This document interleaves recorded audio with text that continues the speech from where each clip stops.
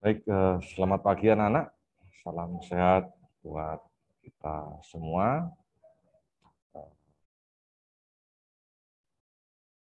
tentu Mister berharap semuanya sudah berada dalam kondisi yang oke. Okay, ya.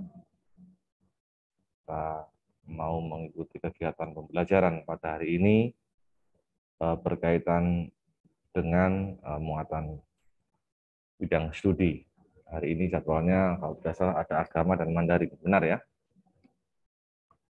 Betul ya, agama dan Mandarin. Baik. Lalu uh, hal berikut yang mesti Mr. Alfon sampaikan kepada kalian bahwa pagi ini juga menjadi motivasi bagi kita. Cuacanya sangat cerah sekali dan ini saya rasa juga mendukung buat aktivitas belajar kita. Semoga kalian memiliki tetap apa semangat semangat juang yang tinggi ya. Nah, eh, perlu dicermati kepada kalian semua yang hari ini sudah bergabung dan barangkali temannya yang belum bisa bergabung nanti bisa diinfo aja.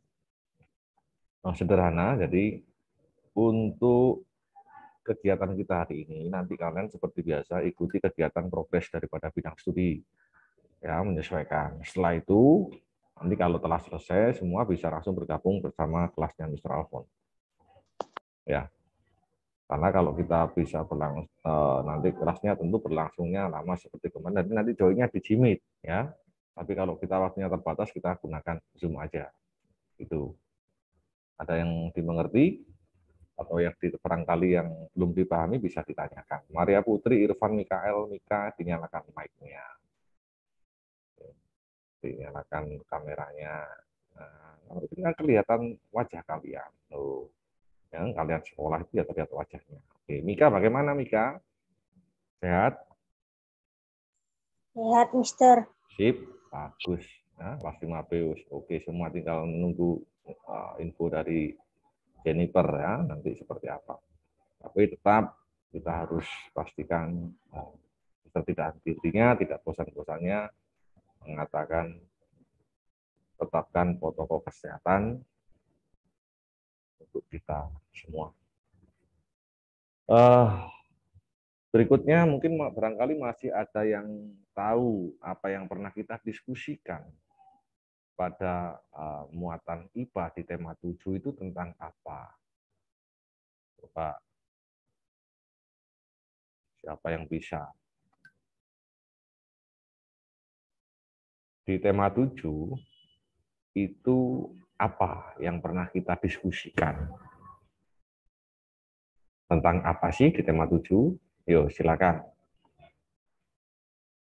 Silakan, boleh mengangkat tangan untuk memberikan penjelasan.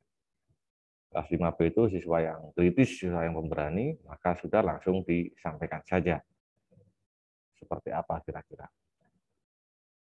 Ya, seperti apa kemarin? Silakan. Materinya IPA membahas tentang apa itu? Materinya IPA di tema 7. Oli, tentang apa?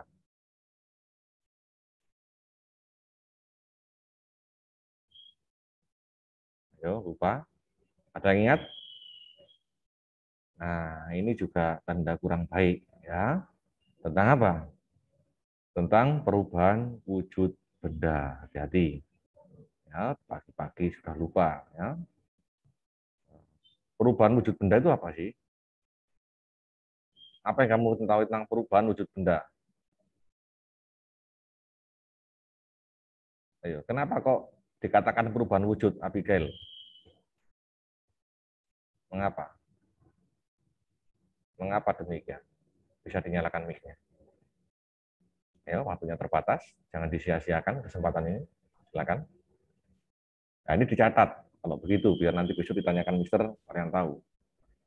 Perubahan wujud benda adalah salah satu bentuk terjadinya saya ulang, salah satu bentuk terjadinya gejala perubahan, silakan ditulis. Saya ulang ya, jadi perubahan wujud benda itu apa? Salah satu bentuk terjadinya. Catat ya. salah satu bentuk terjadinya gejala perubahan pada suatu benda. Saya ulang, perubahan wujud benda adalah salah satu bentuk terjadinya gejala perubahan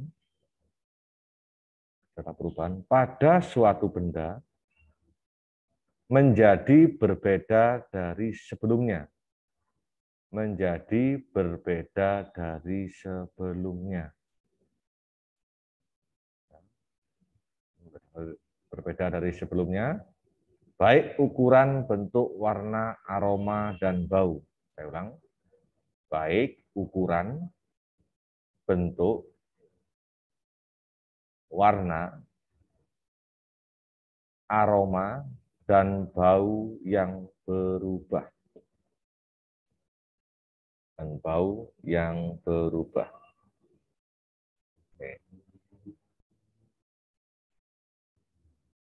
Nah,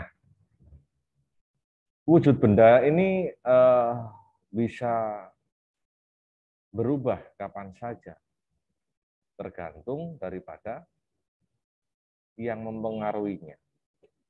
Nah, contoh, batu tiba-tiba jatuh kemudian pecah karena ada sebab jatuh ada ada dorongan ada tekanan nah pada kondisi tertentu anak-anak semua pada kondisi tertentu suatu zat benda baik padat cair dan gas tidak bisa mempertahankan bentuknya.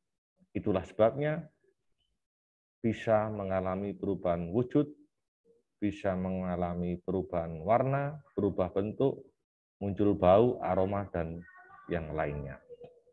Ingat, garis bawahi, pada kondisi tertentu, suatu zat, benda, baik padat, cair, dan gas, tidak bisa mempertahankan bentuknya. Tolong dicatat, ini penting sekali. Perubahan itu terjadi pada kondisi tertentu, saya ulang ya, pada kondisi tertentu, di mana suatu zat benda di mana suatu zat benda yakni padat, cair dan gas yakni padat, cair dan gas tidak bisa mempertahankan bentuknya. Tidak bisa mempertahankan bentuknya. Karena dipengaruhi oleh saya ulang karena dipengaruhi oleh panas, suhu, kelembapan dan sebagainya. Saya ulang, karena dipengaruhi oleh panas, suhu, kelembapan dan sebagainya.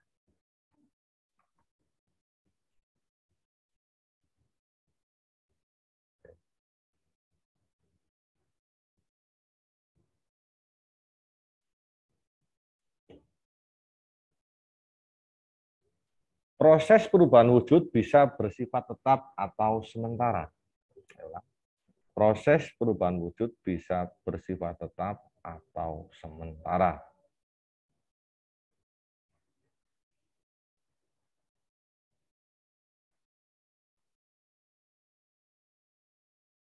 Di mana bisa memerlukan kalor ataupun melepaskan kalor di mana memerlukan kalor atau apa melepaskan kalor.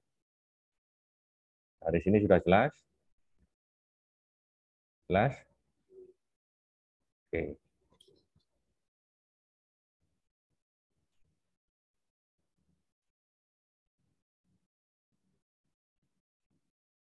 Nah, saya tanya, kalau perubahan fisika itu eh, perubahan ya perubahan fisika itu apa? Coba. Jennifer sudah masuk ya? Gimana Jennifer? Sudah sehat? Oke. Sip. Sudah baik kan? Jennifer? Oke, belum bisa connect. Ya, perubahan fisika itu apa, Wirya? Perubahan yang hanya terjadi di fisiknya yaitu di dalam bentuk, bau, aroma, perubahan fisika. Yang lainnya. Kalau perubahan fisika, lebih tepatnya apa berarti? Perubahan apa? Perubahan fisika itu apa? Perubahan yang hanya mempengaruhi bentuk. Karena tampilan luarnya, berarti tampilan fisiknya berarti ya. Ya, ya ini disebut fisika. Ya, cenderung pada tampilan fisik dan apa? Kira-kira apa yang penting di sini? Perubahan ini tidak sama sekali mengubah materi atau bentuk zat baru. Ingat baik-baik. Perubahan fisika itu tidak membentuk zat baru. Di garis bawah ya, ditulis. Perubahan fisika tidak mengakibatkan munculnya zat baru.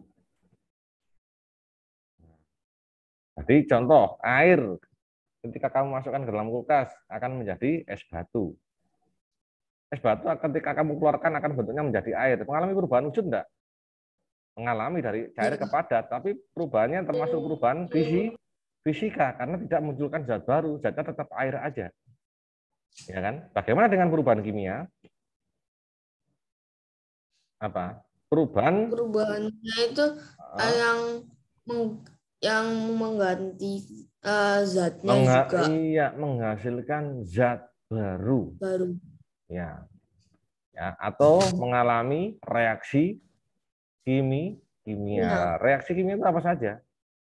Pembakaran pendinginan pemanasan pembusukan perkaratan. Nanti kita akan bahas setelah pembelajaran agama. Contohnya pembakaran seperti apa? Ya rumah dibakar itu gak akan jadi rumah lagi itu namanya perubahan kimia. Satu. Dua. Kertas kamu bakar jadi abu. Nggak akan abu jadi kertas lagi kan gitu. Kecuali Doraemon ya Doraemon dimasukkan kantong ajaib bisa kembali kertas lagi. Itulah hebatnya Doraemon. Nanti kita akan membaca lagi. Sekarang silakan bergabung dengan pembelajaran agama. Terima kasih dan selamat pagi. Tuhan berkati kita semua. Salam inspiratif.